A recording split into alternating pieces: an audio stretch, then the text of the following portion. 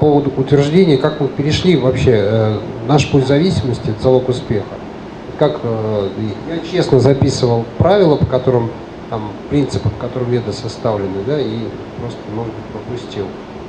А, Если мы зависимы от абсолютной истины, то мы успешны. Если мы не зависим от абсолютной истины, мы эгоистичны. Поэтому мы страдаем. А как понять зависимость? Это То, что нам интересно.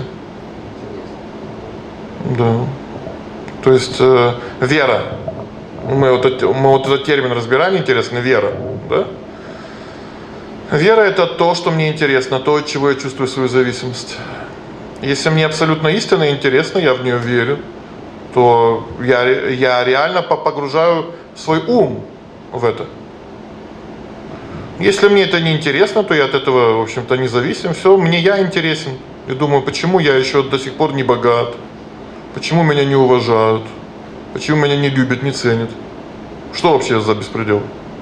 Меня должны любить и ценить. Понимаете?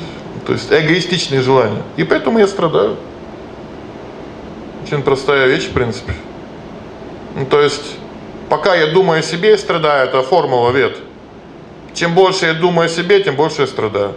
Чем меньше я думаю о себе, тем меньше я страдаю. Очень хорошая формула. Отработанная формула. Мы часто приводим этот пример с больным зубом, который ночью, а сильнее болит. Потому что мы ночью больше думаем о себе. Это принцип эгоизма. Принцип эгоизма. Эгоцентризма. Я думаю о себе. Я думаю о себе как о Боге. Все. Это боль. Почему боль, мы говорили в самом начале, это не мое положение. Мое положение вот думать о абсолютной истине.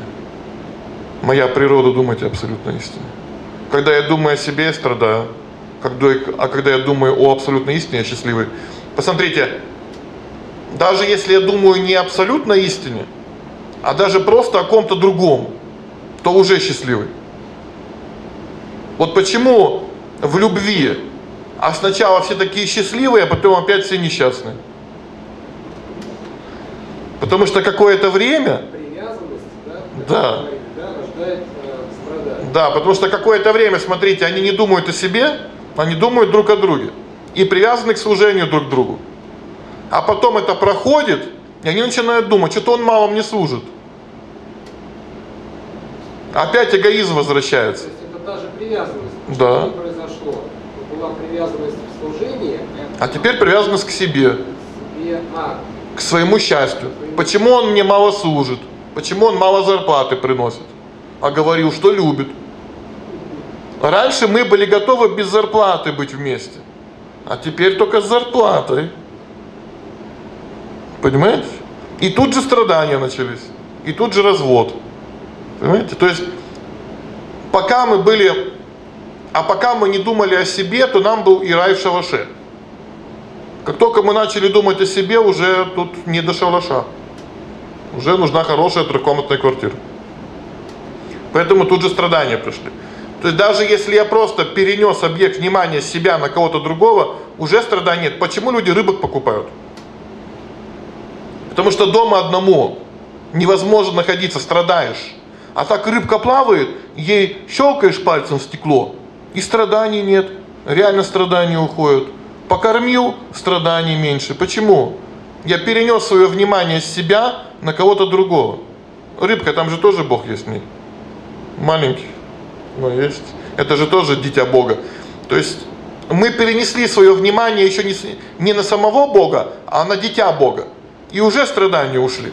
то же самое вы говорили, в театре происходит, и ну, почему люди туда это- Да, Да. факт. Очень интересно. Нести внимание. Интерес, да? Интерес, зависимость служения. Да, но если я переношу на временный объект, то это временный интерес. И он обязательно пропадает, поэтому опять страдания возвращаются. Поэтому я должен интерес на вечный объект поместить, на абсолютную истину. И тогда этот интерес будет только увеличиваться. Он не будет пропадать. В этом наша ошибка. Мы интересуемся временными вещами. Поэтому это временно, оно нас заставляет страдать. Потому что интерес опять к себе возвращается. Ну, рыбок покормили, все, теперь надо о себе подумать. Рыбки накормлены, светом выключили, теперь о себе.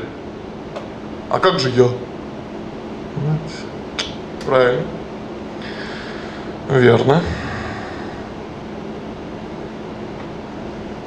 Вот продолжение думать о себе и о другом. Мы сегодня говорили о том, что если рассматривать любого человека, пришедшего к нам в жизнь, там, или встретившегося как душу и как э, того, кто Господь послал, то как становится проще. Э, вот, но если я не всегда хочу слышать то, что он мне говорит, и я понимаю, что то, что он мне рассказывает, э, то есть человек просто тратит мое время, я не готов ему это отдавать. Как мне Значит, нет страданий. Недостаточно страданий в жизни. Сострадание у меня или... Нет страданий в жизни. То есть мы еще наслаждаемся. Поэтому мы и говорили, что страдания в этом случае, вот это вот неудовлетворение, оно приводит к тому, что мы начинаем слышать других. И даже из абсолютно странных источников он начинает приходить очень понятные вещи. Мы думаем, да, мне тоже тысячу раз говорили. Почему я никак не могу это понять? Понимаете? Но так как я не настроен, так как я еще наслаждаюсь, так как у меня нет вот этого вот внутреннего неудовлетворения своей странной жизнью, то я поэтому не могу увидеть учительство в этой встрече. А на самом деле все поучительно. Мир абсолютно поучителен. Изначально поучителен. Понимаете? Поэтому это условие. Одно из условий. Раз, разочароваться в своем странном поведении. Если этого нет, то помочь невозможно человеку. Он думает, все нормально. Таких людей вам сколько? Да все хорошо, жизнь налаживается. Мы, мы победим, победа будет за нами. Понимаете? Поэтому какое-то время с ним невозможно даже на эту тему разговаривать. То есть он не будет с вами разговаривать, он не будет вас слушать. Но мир добрый, поэтому оказывается, что не все налаживается, а все очень даже разваливается. И к человеку опять приходит неудовлетворение, кризис. И в этот момент неудовлетворенности он начинает слушать, он начинает прислушиваться. И тут он может встретить своего учителя, наставника. Тут он может получать наставления, в принципе, в принципе, из любого источника, если он готов. Прошу прощения, он сможет из этого э, любого источника вынести главное зерно, да? Ну, какое-то направление он получит. Какое-то направление он будет получать. А главное зерно он может вынести только из Шимадбхагавату. Ну, то есть все эти подталкивания, в конце концов, нас ведут к Шимадбхагавату. Потому что истинное зерно можно только получить из этого произведения, где тысячу раз одно и то же повторяется, повторяется, повторяется, повторяется. Чтобы оно в нас вот завинтилось, туда вкрутилось. Понимаете? Но подталкивания-то они вот такие, легенькие. То есть это же не, а не так, что вы к человеку на улице подошли и сказали, все, Бхагава там читаю. И он, да, все понятно, о, читаю, все понятно, Бог есть, я слуга Бога. То есть это не так. Человеку нужно пройти какие-то сомнения, рассуждения, переживания, ломку парадигмы, какие-то философские поиски, споры, наезды, понимаете, пробы, хождение по мукам. Ну, да, длительный процесс. Длительный процесс. Видите, даже он на Весадеве пришлось долго помучиться, чтобы к этому прийти. И потом, когда вот он уже был окончательно неудовлетворен, хотя сделал все, вот тогда он услышал народу. Тогда Нарда пришел, он его услышал. И Нарда ему все объяснил.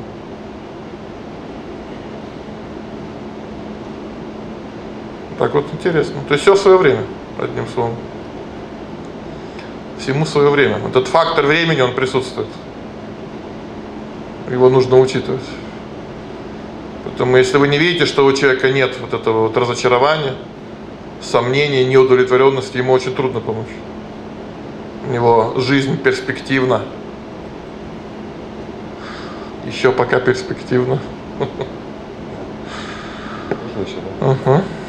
Вот на позапрошлой лекции говорили о том, что очень важно а, быть удовлетворенным в любой ситуации, в том положении, где мы находимся. Есть правильно я понимаю, что нужно и вот в, этом, в этой неудовлетворенности, которая приходит, как я Садева себя чувствовал, тоже научиться видеть милость Бога, да, и научиться ее тоже использовать для дальнейшего продвижения своего. Да, если мы ее тут же используем для этого, то это будет тут же удовлетворенность. Она тут же переходит в удовлетворенность. Ну, то есть, как мы сегодня говорили, страдание – это видеть что-то отличным от Бога. Поэтому, если это неудовлетворенность я вижу отличным от Бога, то я думаю, депрессия, надо антидепрессантов попить, может на футбол сходить или пивка, то есть непонятно, что делать. Но если я вижу это как милость Бога, то я тут же пытаюсь понять, что делать-то. И тут же мне встречается духовный учитель и, и, и дает мне наставление, что мне делать. Я начинаю это делать. Именно так описывается все, то есть очень такое прямое описание именно этой истории. Сейчас возник вопрос, а вот угу. то, о чем, причем у меня часто возникал, а, то, о чем мы сейчас говорим, а, мы будем еще к этому возвращаться.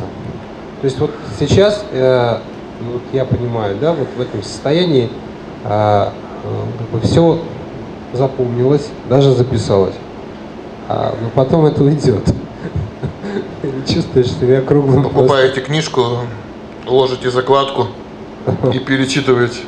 Ну да. А На самом деле мы... повторение, вот этот принцип повторения много раз, да? Да, мы его используем. Приложение, да? Мы его используем, да. Мы его используем, Бхагаватам так устроен. Почему мы читаем Бхагаватам? Потому что волей-неволей в каждом стихе приходится говорить об одном и том же. Заметили, нет? И те, кто это выдерживают, те живут здесь последнюю жизнь. Те, кто вы, э, не выдерживают, они идут искать разнообразие. И теряются на просторах Вселенной. Тут есть тонкие пути для путешествий. И они отправляются в космическое путешествие по этому миру. Если человек это выдерживает и действительно обретает эту веру, то его интерес навсегда сосредотачивается на высшем, на абсолютной истине, и цель жизни решена. То есть цель жизни обрети интерес, обрести интерес, обрести вкус к абсолютной истине. Это цель жизни. Чем занимаемся? А у нас пока вкус к чему-то подозрительному. Лучше даже их не перечислять вслух наши вкусы. Можно напугать соседей. Вкусы у нас странные.